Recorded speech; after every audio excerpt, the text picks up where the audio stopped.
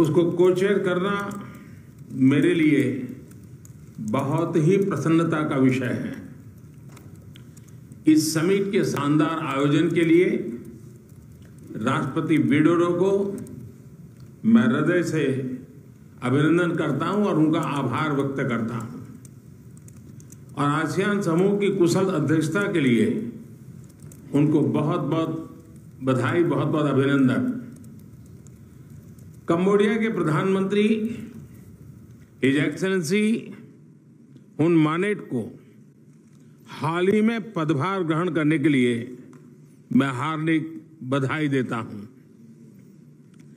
मैं इस बैठक में ऑब्जर्वर के रूप में तिमोर लेस्ते के प्रधानमंत्री his excellency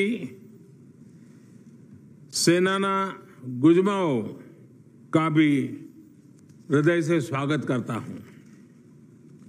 your majesty excellency हमारी हिस्ट्री और ज्योग्राफी भारत और आसियान को जोड़ते हैं। साथ ही साझा वैल्यूज़ क्षेत्रीय एकता शांति, समृद्धि और मल्टीपोलर वर्ल्ड में साझा विश्वास भी हमें आपस में जोड़ता है। आसियान भारत की एक्ट ईस्ट पॉलिसी का केंद्रीय स्तंभ है। भारत, आसियान सेंट्रलिटी और इंडो पैसिफिक पर आसियान के आउटलुक का पूर्ण समर्थन करता है। भारत के इंडो पैसिफिक इनिशिएटिव में भी आसियान क्षेत्र का प्रमुख स्थान है। पिछले वर्ष हमने भारत आसियान फ्रेंडशिप ईयर मनाया और आपसी संबंधों को एक कॉम्प्रिहेंसिव स्ट्रेटेजिक पार्टनरशिप का रूप दिया। योर मैजेस्टी, एक्सलेंसीज, आज वैश्विक अनिश्चितताओं के माहौल में भी हर क्षेत्र में, हमारे आपसी सहयोग में लगातार प्रगति हो रही है। यह हमारे संबंधों की ताकत और रेजिलियंस का प्रमाण है। इस वर्ष की आसियान समिट की थीम है, ASEAN matters epicentrum of growth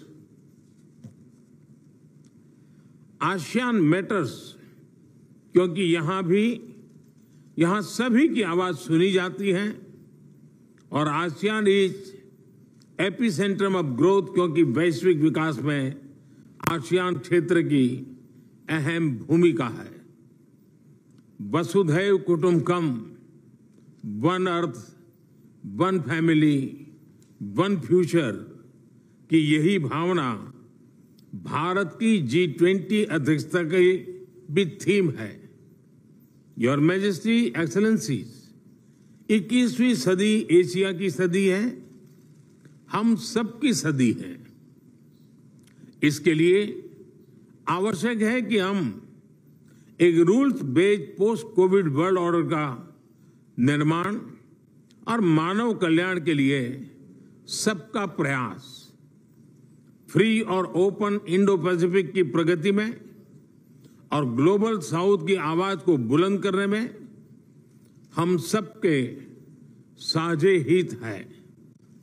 मुझे विश्वास है कि आज हमारी बातचीत से भारत और आसियान क्षेत्र के भावी भविष्य को और सुदृढ़ बनाने के लिए नए संकल्प लिए जाएँगे।